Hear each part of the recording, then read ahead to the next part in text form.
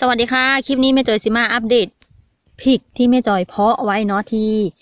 ขึ้นรูปให้คือเพาะแบบเม็ดสดๆที่แม่จอยเพาะนะเนาะวันนี้แม่จอยกะสิมาอัปเดตให้นะคะกะงอกแล้วนะคะโผล่ที่จริงอะงอกตั้งแต่สามมื้อที่แล้วเนาะแต่ว่ามันยังบ่โผล่นะคะ มันยังเป็นย่อนอ่อนนะแต่อันนี้โผล่แล้วนะคะเนี่ยเห็นบ่งอกงอกหมดเลยนะคะ ว่าง่ายๆก็คืองอกงอกทุกเม็ดที่เฮางอกเลยเฮาเพาะเลยเนาะเห็นบ่คะมันก็สิขึ้น มันก็สิที่แน่เนาะห้างแน่นะคะก็บ่เป็นหยังเพราะว่าเฮายังสิถอนไปปลูกอีกเนาะพอมันขึ้นได้มาประมาณประมาณนี้เฮาก็ถอนไปปลูกแล้ว อันนี้บ่แม่นพริกเด้อค่ะย่าเนี่ยมันขึ้น มันขึ้นมาประมาณนี้เฮาก็ถอนไปปลูกแล้วเนาะ ที่กับบ่เป็นอย่างนะคะ แต่ถ้าต้นแก่ต้นใหญ่กว่านี้ปลูกได้บ่ปลูกได้คือกันนะคะ แต่ว่ามันต้นแก่แล้วการฟื้นโตการอันนี้มันกับซีซ่าเน่เนาะก็คล้ายๆกับเด็กน้อยคือคนเฮานี่แหละ เด็กน้อยเวลาเจ็บไข้กะ ถ้ากินยากินยางรักษากะ ดีไวแต่ถ้าเฒ่าแล้วกะ ดีซ่าเนาะคือกันนะคะ ต้นไม้ก็คือกัน ถ้าเฮาปลูกตั้งแต่อายุยังน้อย พอถึงเวลาปลูกพอถึงเวลาที่เฮาสิเคลื่อนย้าย เฮาเคลื่อนย้ายทันมันกะสิฟื้นโตเร็วนะคะ แล้วก็เฮ็ดให้การเจริญเติบโตมันไวพร้อมเนาะแต่ถ้าต้นแก่แล้วเฮานำมาปลูกนะคะ มันก็สิเป็นต้นแค่ต้นแกนไปเนาะนี่มันก็ถ้าถามว่ามันที่บ่ที่อยู่นะคะ มันก็ขึ้นเป็นตามแนวเม็ดของพริกในหน่วยมันเนาะเพราะเฮาเอาหน่วยทั้งทั้งหน่วยวางเลยเฮาบ่ได้เขี่ยออกโรยกระจายให้มันกระจายกระจาย หรือว่าเฮาสิเขี่ยออกโรยกระจายก็ได้ค่ะบ่เป็นหยังแต่ว่า มันสิฮ้อนมือเฮานะคะ ก็เลยเอาวิธีง่ายผ้าครึ่งแล้วก็วางตามที่แม่จอยเห็นให้เบิ่งคลิปแรกเนาะอันนี้แม่จอยมาอัปเดตให้นะคะ FC เพิ่นบอกว่างอกแล้วมาอัปมาอัปเดตให้เบิ่งในเด้อเป็นจังไดเนาะมื้อนี้แม่จอยก็มาอัปเดตให้เบิ่งนะคะ นี่มันก็สิขึ้นแบบนี้เนาะแต่มันสิขึ้น ถ้าหมดบ่เอาไปกินนะคะ ขึ้นทุกเม็ดเลย สังเกตได้เลยนะคะ นี่ อันนี้คือซีกหนึงที่แม่จอยวางไว้เนี่ยที่เฮาวางไว้นี่เนาะ อันนี้หมดเอาไปกินน้ำนะคะ หมดขนไปน้ำไม่จอยเห็นเลยว่า หมดง้ามมันมาขนไปเนาะอันเสียงนี่เนาะมันก็สิขึ้นแบบนี้มันก็สิที่ แต่แต่แม่จอยไม่ได้สนใจเรื่องของที่ของห่างมันนะเพราะว่าเฮาต้องถอนไปปลูกอีกเนาะเฮาไม่ได้ปล่อยไว้มันอยู่ในหีเนาะขอให้แค่มันขึ้นนะคะนี่เห็นไหมคะขึ้นขึ้นเป็นแบบขึ้นอันนี้เลย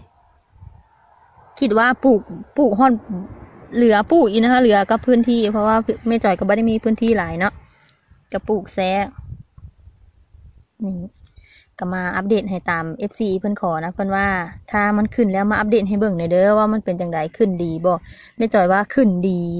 ขึ้นดีอีหลีนะคะขึ้นดีแห้งจนแบบพอเห็นบ่อันนี้เห็นบ่คะอันนี้เป็นต้นมะเขือ มะเขือเปาะเฮาเนี่ยแหละค่ะแม่จอยก็ปลูกแทรกลงไป เพราะว่าพื้นที่เฮามีน้อยเนาะเฮาก็ปลูกแทรกลงไป อีกอย่างในการที่เฮาสิฮดน้ำนะคะลดน้ำเนาะพักบางชนิดอย่างอย่างเช่นกระล่ำนี่เห็นบ่อันนี้กระล่ำแม่จอยปลูกใส่นี่เพิ่งปลูกนะคะ ปลูกใส่ถ้ากระล่ำความห่างมันมันกระถิ่งพื้นที่ไปละ ทิ้งพื้นที่ไปแล้วเฮาแต่ว่าเฮาก็ต้องลดน้ำทุกมือเนาะลดน้ำทุกมือแต่ว่าพื้นที่ตรงนี้บ่มีหยังนะคะแม่จอยก็เลยเอาต้นมะเขือมาใส่เพราะว่ามะเขือนี่มันสีสูง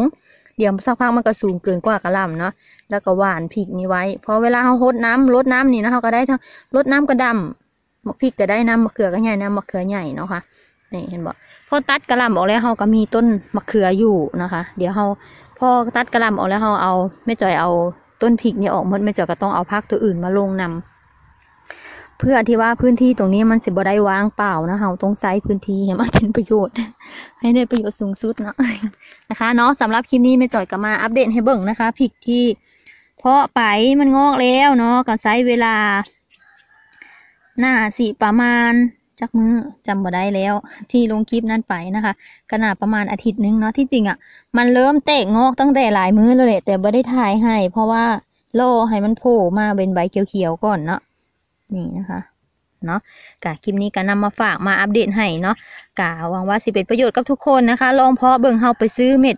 บางคนว่าเอออยากได้เม็ดพริกแบบพันธุ์ดีๆนะคะ ไปซื้อตามห้างตามอย่างนี่ย ถ้ามันเหลืองแล้วสามารถเพาะได้เฮานำมาเพาะแบบแม่จอยนี่เลยเอามาวางผ่าแล้วก็วางดินแล้วก็เอาดินกบ เอาแกบก็ได้แกบดำก็ได้คุยมะพร้าวก็ได้นะคะกบข้างบนเพื่อให้มันเก็บกักความชุ่มชื้นของน้ำไว้เนาะแล้วก็รดน้ำยามมือเช้ายามมือเช้าทุกมืออย่างสม่ำเสมอเดี๋ยวมันก็สิงอกให้นะคะ ถ้าเขาไปซื้อแบบแห้งมามันงอก มันใช้เวลาโดนงอกนะคะ บางที่ก็บ่งอกเลยแม่จอยเคยหว่านแล้วพริกเบ็ดม็ดแห้งบ่งอกนะคะเนาะลองไปเฮ็ดเบิ่งนะคะสำหรับคลิปนี้ก็ต้องเอามาฝากส่ำนี้ก่อน ไว้พบกันคลิปหน้านะคะกับฝากกด subscribe กดไลค์กดแชร์ให้แม่จอยนำเนาะ